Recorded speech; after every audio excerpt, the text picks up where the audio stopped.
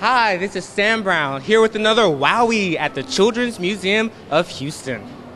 We're here in Kidtropolis exploring the question why do prices for the same thing change? Follow me. The answer lies in supply and demand. Supply is amount of a product available to sell. Demand is the number of products people are willing to buy. For example, when there is a large harvest of strawberries, there are plenty for people to buy, so the price goes down. When there is a poor harvest, but people really want strawberries, the price goes up. Supply and demand affects lots of prices, from the fruits and vegetables in the market to the cost of gasoline.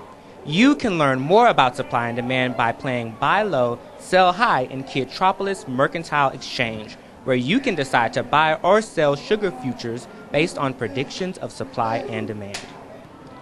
This has been another Wowie. We hope you'll visit Kidtropolis at the Children's Museum of Houston.